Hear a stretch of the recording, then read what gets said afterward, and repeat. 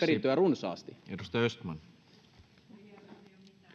Arvoisa puhemies! Tässä kun kuuntelee tätä keskustelua ja kun osittain kuuntelin myöskin, mitä hallituspuolueitten ryhmäpuheissa pidettiin esillä, puhuttiin sitten kauniisti näistä kannustinloukuista ja pitäisi saada enemmän ihmisiä töihin.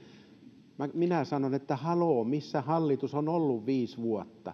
2008 KD löi pöytään sellainen kannustava perusturvamalli. Viisi vuotta on kulunut, eikä ole tapahtunut mitään, ja meillä on pulaa työntekijöistä, osaavasta työvoimasta. Miksi me emme saa ihmisiä töihin? No siksi, että meillä on edelleen sellaisia kannustinloukkuja, joita pitäisi purkaa. Miksi hallitus ei ole tehnyt yhtään mitään? Edustaja Harkimo. Arvoisa puhemies, ärade talman!